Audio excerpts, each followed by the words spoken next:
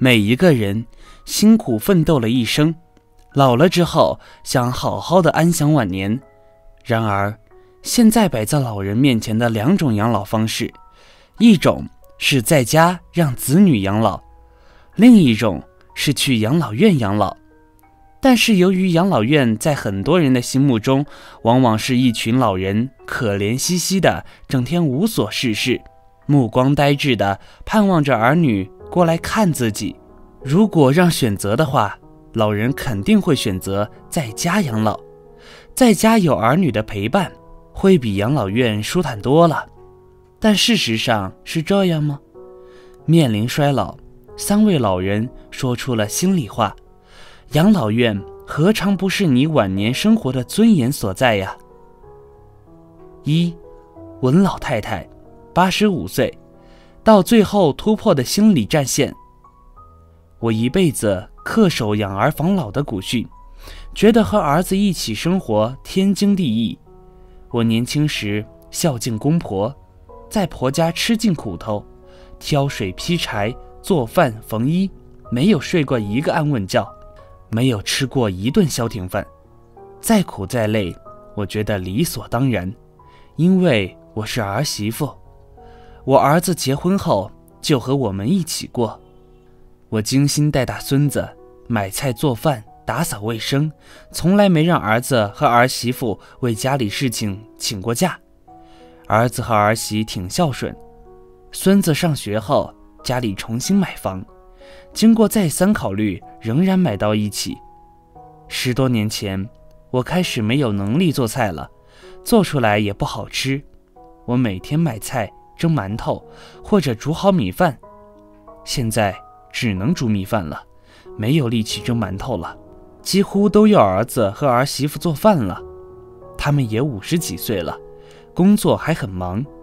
为了给我们做饭，下班后再累也要坚持。有时他们有事在外面吃饭，也要提前急急忙忙回来做好我们的晚饭。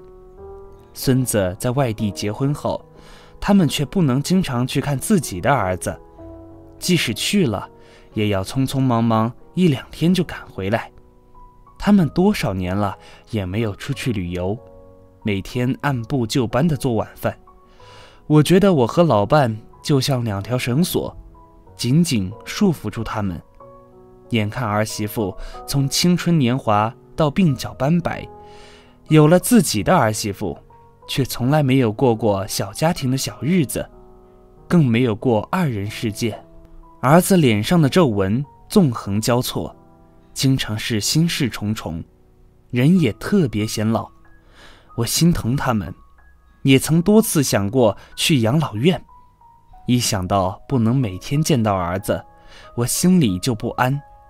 养儿防老，我去养老院了，亲戚朋友怎么想？是我儿子不孝顺吗？我丢不起那个脸。现在，我心里每天都很受煎熬，看着儿子越来越消瘦的脸，儿媳妇越来越多的白发，我们两个人越来越没用，成为沉重的大包袱。最后，我们决定去养老院，一方面减轻儿子的负担。一方面，我们也能过上属于自己的生活，独立一点，自由一点，也能有尊严的享受人生最后一段属于自己的时光。二，于老太太，七十二岁，让人害怕但又向往的养老院。我曾去过养老院看过姨妈，那是一个挺有名气的养老院。路上，我对儿子说。养老院多好呀，不用自己做饭洗衣，还有很多伙伴。以后我也去养老院。儿子高兴地说：“好啊，他愿意我晚年享福，所以表现得很愉快。”进到里面，宽阔的大厅布满花草树木，却一片寂静。转圈的二楼平台上有几位坐在轮椅上的老人，他们的眼睛盯着一个地方。目不转睛，脸上毫无表情。姨妈的房间，一桌一椅一柜，一台电视，一部电话机，有点像病房，没有生机。走时，姨妈依依不舍地送我们出来，平台上的老人依旧如刚才一般一动不动。楼里虽然有绿植，却一片灰蒙蒙、死气沉沉的感觉，花草凝固得像假的，甚至像死了一般，没有色彩和水分。儿子紧紧挽住我的胳膊，我可不让你去养老院。我奇怪地问他为什么，我以为年纪还小的他看不出什么问题。他告诉我，遗老眼睛里有泪水。平台上的老人是混吃等死的。我吃惊，他看出了问题，也一辈子感激他说不让我去养老院。在离开养老院时，他能说出这句话，我会一辈子感激他的。他小小年纪就知道心疼妈妈。可是，自从两年前老伴去世后，我一个人守着空荡荡的屋子，我的心也空了。儿子想让我在他家附近买套小点的房子，来往方便点儿我拒绝了。一套再小的房子，掏空积蓄也不够。难道我老了还要背上债务，过着紧巴巴的日子吗？我也不想给儿子儿媳妇带来更多的麻烦。距离产生美，和睦相处的婆媳关系是我最想要的。我思前想后。认为把手里的钱用来选好点的养老院是最好的办法。可是养老院中那些呆滞的目光、病房一样的房间、死寂的气氛浮现在我的眼前，孤独寂寞，就像是一块巨大的铅块，死死压住了我。每一天、每一夜，我都是窒息和恐惧的。尽管我不停地给自己找事情做，学画画。学乐器，我害怕夜晚到来，让我心惊胆战；我害怕太阳升起，让我孤寂凄凉。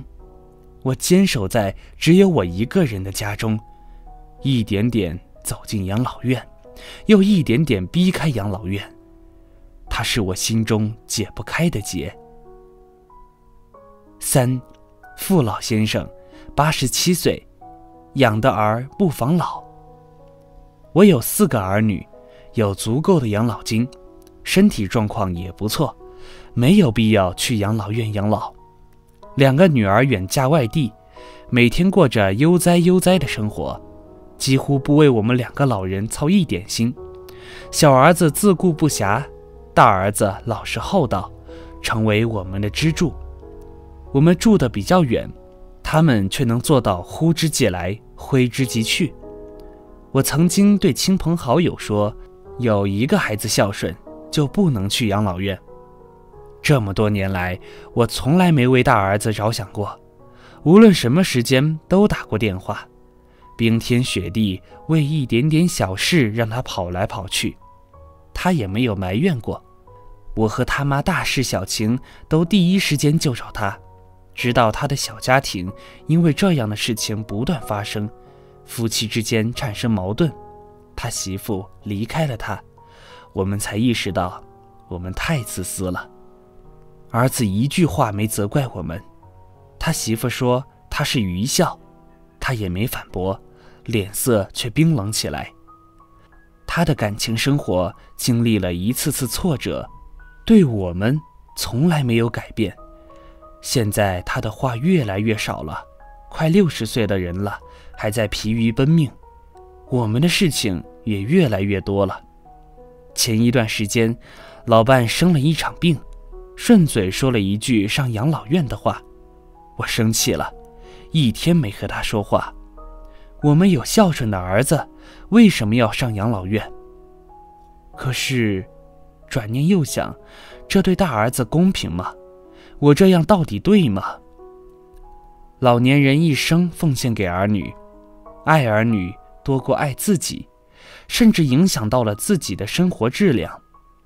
由于社会经济比较落后，家庭收入低，他们大半辈子吃苦耐劳，老有所养是老年人最大的心愿。而养老院虽然不是新鲜事物，但是并不普及，老年对此还没有认识上去，养儿防老的观念还很根深蒂固。养老院的不完善也成为他们最大的担忧。然而，无论如何，对于这三种情况而言，养老院是有尊严养老的最好的，也是最后的场所。子女无力养老，第一代独生子女的父母已经进入老年人队伍。一对独生子女夫妻要赡养四位老人，还要抚养自己的儿女，他们的子女面临着激烈的竞争，占据了父母的大量精力。社会快速发展，同样带来工作压力，他们无论是体力还是精力都达到高度紧张。子女无能养老，出国大潮中有大批青少年出国学习和工作，还有大量青年人出外打拼，他们远离父母，不能为老人养老，老人没有条件出国，或者到子女工作的地方生活。远水救不了近火，这部分老年人去养老院养老势在必行。子女无心养老，西方文化与传统文化的博弈，孝道不再是家庭风气的主流。两代人价值观和生活习惯不同，子女无心尽孝，父母成为累赘。两代人各自独立的生活模式，越来越受到更多的人接受。养老院成为老年人养老的首选，你接不接受？养老院就在你面前存在着。当你老了，要有尊严的养老，不要成为社会和子女的负担。养老院实在是第一考虑。对于上面的三个故事，你有什么看法呢？快在评论区发表你的想法吧。